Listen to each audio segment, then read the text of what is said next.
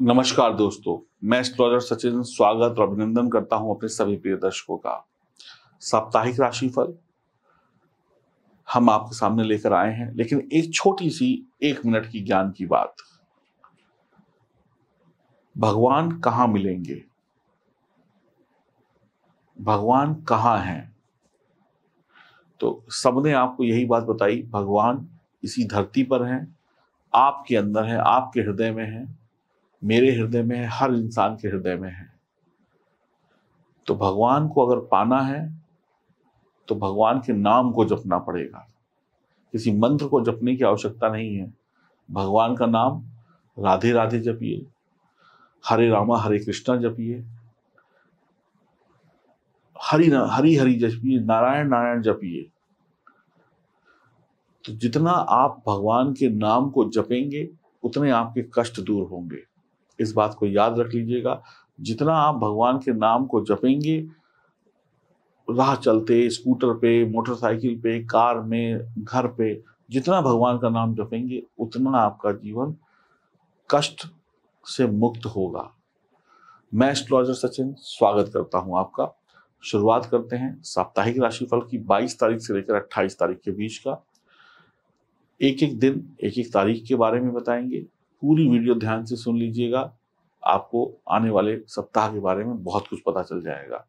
और छोटे छोटे से एक या दो उपाय बताऊँगा, उनको भी कर लीजिएगा तो और अच्छा रहेगा। और चैनल को सब्सक्राइब कर लीजिए, बेल आइकन के बटन को दबाइए फेसबुक और इंस्टाग्राम पर हमें फॉलो ज़रूर करिए। आइए, अब बात करते हैं आपके राशिफल की। सप्ताह की शुरुआत में आप मुकदमेबाजी के मामलों को सुलझाने में पैसा खर्च करेंगे। सप्ताह के मध्य में स्वास्थ्य संबंधी समस्याओं या इलाज पर पैसा खर्च हो सकता है। बैंक में या किसी सरकारी काम में या किसी भी काम में आप रिश्वत देने की कोशिश ना करें, किसी सीधे काम को नंबर दो से कराने की कोशिश ना करें, नहीं तो मकर राशि वालों आपको परेशान होना पड़ेगा।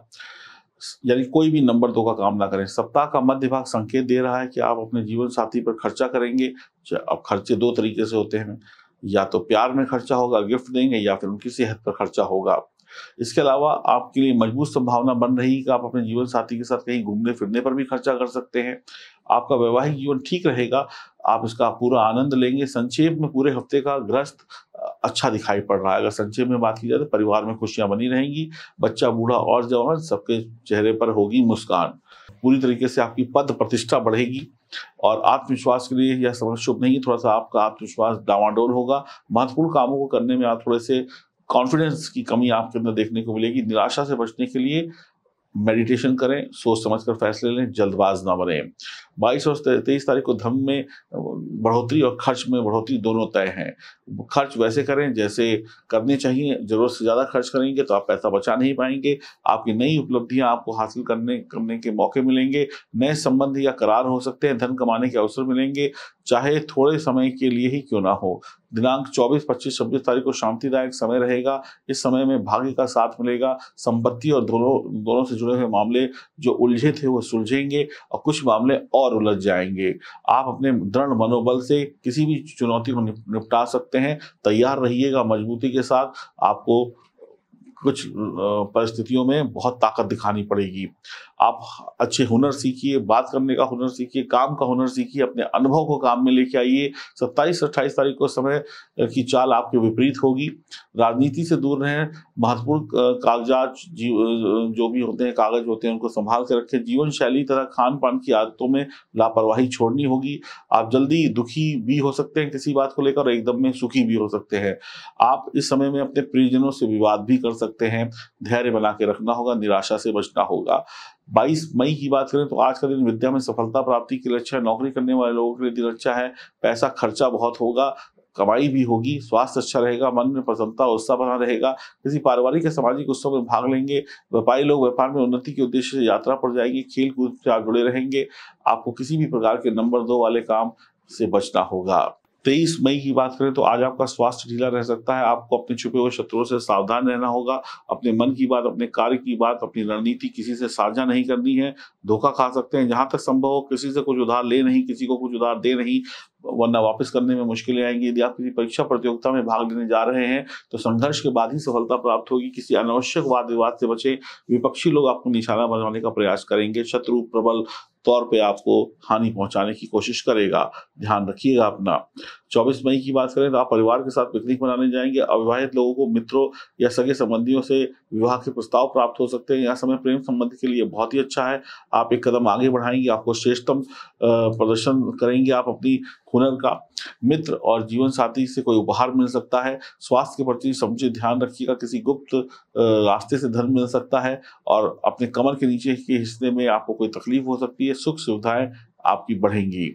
25 मई की बात करें तो आज का दिन जीवन साथी का साथ और सहयोग प्राप्त करने के लिए उत्तम है। आपको निश्चित रूप से एक दूसरे का सहयोग मिलेगा। आप रोमांटिक मूड में होंगे, पढ़ाई के लिए समय अच्छा है, व्यापारियों के लिए समय अच्छा है, नई यारी, दोस्ती, नई पार्टनरशिप हो सकती है, आपका नए प्रेम संबंध शुरू हो सकते हैं, जमा पूंजी बढ़ सकती है, परंतु बहुत ज़्यादा, ज़रूरत से ज़्यादा किसी पर यकीन करना, अंधविश्वास करना भारी पड़ेगा। स्वास्थ्य सामान्य रहेगा खाने पीने की मामले में भी बहुत सावधानी रखनी होगी, पेट गड़बड़ हो सकता है, रोज़ाना नियमित व्यायाम करें नहीं तो आज आपको ऐसा लगेगा कि आपका शरीर ढीला ढीला सा है तो किसी महिला को न सताएँ, महिलाओं से अच्छा व्यवहार रखें।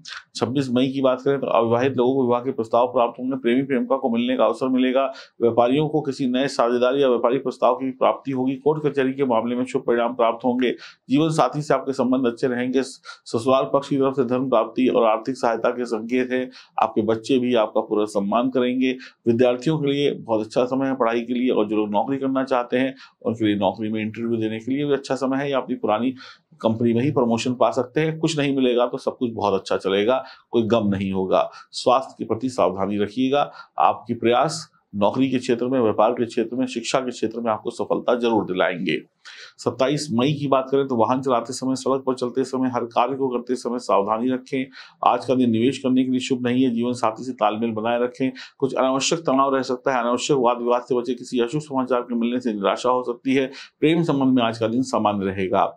28 मई की बात करें तो आज का दिन उदास हो, का हो सकता है। काम में रुकावटें आ सकती है गाड़ी वाहन खराब हो सकती है सट्टेबाजी शेयर मार्केट पे हानि हो सकती है जीवन साथी से वैचारिक मतभेद हो सकता है प्रेम संबंध में तनाव हो सकता है कमर में दर्द हो सकती है पैरों में दर्द हो सकती है चोट लग सकती है भाषा में कड़वाहट आ सकती है अनावश्यक समस्याएँ जिनके बारे में सोचा ना हो वो भी आपको परेशान कर सकती है तो सावधान रहिएगा कुल मिलाकर आपके लिए सेवेंटी परसेंट ये सप्ताह शुभ परिणाम दे रहा है दो नंबर आपके लिए लकी रहेगा। आप जानते हैं वो उपाय जो सभी कष्टों को हमसे दूर कर देगा। सब कुछ सुन लिया, जान लिया, समझ लिया, अब उपाय की बात आ गई। तो सबसे पहला उपाय ये है, जिस भी देवी, देवता को आप मानते हैं, जिनसे आपका प्रेम है, जिससे आपका लगाव है, उनके नाम का जप करें।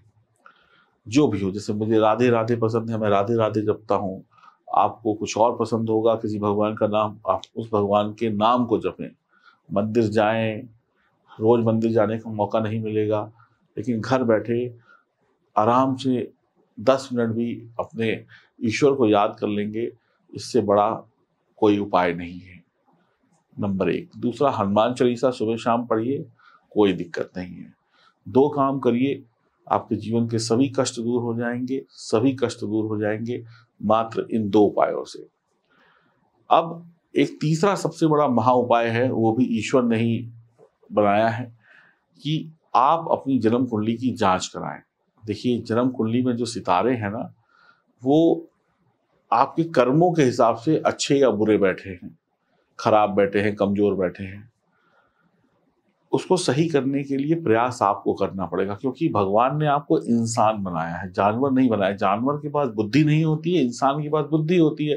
बस यही फ़र्क है जानवर और इंसान में। तो आपके पास बुद्धि है और बुद्धि से आप ये सोच सकते हैं कि मुझे ज्योतिष की मदद से अपनी किस्मत को सही करना है। तो आइए और अपनी किस्मत को चमकाइए। देखिए, जिसको सफलता मिल गई, वो इंसान बन गया और जिसको सफलता नहीं मिल गई, वो जानवर की तरीके से इधर उधर भटक भटक के अपना जीवन जीता रहता है। लोग भी यही कहते हैं ना, समझदार व्यक्ति को यही कहते हैं, तुम इंसान हो और जो जिसके पास दिमाग नहीं होता, उसको क्या कहते हैं? आप खुद ही जानते हैं।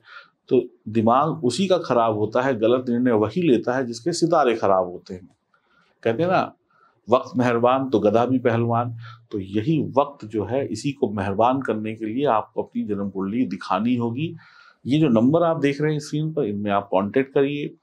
मैं आपसे बात करूँगा, बहुत अच्छे से आपको आपके बारे में बताऊँगा, आपके सितारों के बारे में, और ये भी बताऊँगा क्या उपाय करने हैं। उन उपायों को करिए और यकीन मानिए आपका वक्त बहुत मज़बूत हो जाएगा और आप कब कभी भी दिक्कत नहीं पाएँगे, क्योंकि ज्योतिष ही एक ऐसा शास्त्र है जो आपके जीवन को ऊंचाइयों पर ले जा सकता है। तो आइए देर किस बात की है। नमस्कार। व्यक्ति जब भी पैदा होता है तो उसे कुछ पता नहीं होता, वो क्या करेगा, क्या बनेगा, क्या कुछ उसको चाहिए, क्या नहीं चाहिए। लेकिन जैसे जैसे ज़िंदगी चलती जाती है, उसकी इच्छाएँ बनती जाती हैं, पैदा होने लगती हैं। और जो व्यक्ति महत्वाकांक्षी होता है, उसे बहुत कुछ चाहिए होता है। लेकिन हमारे सौ दुश्मन हैं, जो हमें पीछे कर देते हैं, आगे बढ़ने ही नहीं देते। कई बार सितारे भी आपके दुश्मन बन जाते हैं, कई बार आपके आसपास के लोग भी आपके दुश्मन बन जाते हैं। तो अगर सितारे दुश्मन हैं, ग्रह दुश्मन हैं, आसपास के लोग दुश्मन हैं, एक इंसान कितनों से लड़ेगा? लड़ते लड़ते ही जीवन बीत जाएगा। लेकिन ये जो लाजवर्त का पत्थर है, जब ये आपके पास होगा तो फिर सितारे भी अगर कमज़ोर होंगे तो ये पत्थर उनसे भी लड़ेगा और इंसान के रूप में जो लोग होंगे, उनसे भी लड़ेगा। ऐसी ताकतों से भी ये पत्थर लड़ेगा जो आँखों से नहीं दिखाई पड़ती हैं, यानी कि आपको हर तरीके की सुरक्षा देगा और जब सुरक्षा आपके पास है तो फिर सुरक्षा का दूसरा नाम है सफलता। सफलता पानी है तो इसको पहनिए, राशि कोई सी भी हो, महिला हो, पुरुष हो, यकीन मानिए, ये रत्न आपको हर तरीके से सभी प्रकार की खुशियाँ दे देगा। इसका कोड है एल एट और ये पंच धातु में बढ़ा हुआ आपको मिलेगा। आप अगर सर्टिफिकेट चाहते हैं तो उसके लिए भी आग्रह करिएगा। अतिरिक्त मूल्य पे आपको सर्टिफिकेट मिल जाएगा और इसकी कीमत है एक मार्च से दो हज़ार दो सौ रुपये अभी ऑर्डर करें। नमस्कार।